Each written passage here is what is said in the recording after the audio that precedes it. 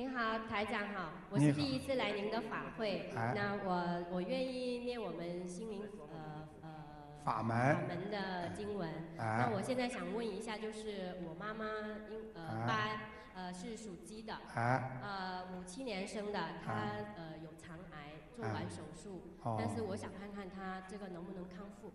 如果几几几年？五七年属鸡的五七年属鸡的，嗯。肠癌是吧？啊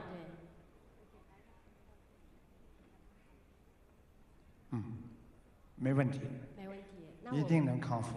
一定能，哎谢谢。叫他好好念经。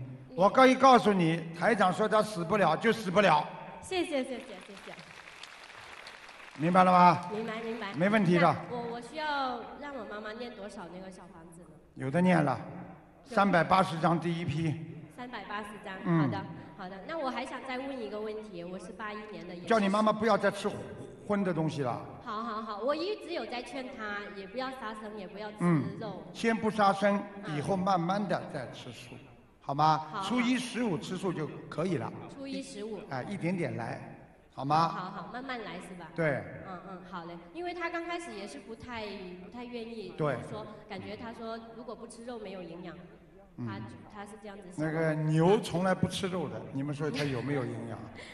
嗯，是，我还想再问一个问题，我是八一年的，也是属鸡。那我我这个感觉肛肠不是很舒服，我需要怎么样做呢？肛肠是吧？嗯。哦，要当心了。小姑娘不是太好，嗯，已经有东西了，是是已经长了一个东西了。是是是。你怎么知道的？呃，感觉得到。啊，已经有感觉到到一个东西了，对不对？好了，我告诉你，你要当心一点。目前来看，不是什么恶性的，但是时间长了，它会变成恶性的，明白了吗？我劝你初一十五吃素啊，好好。好不好？我愿意。嗯，好了。好嗯，谢谢。嗯。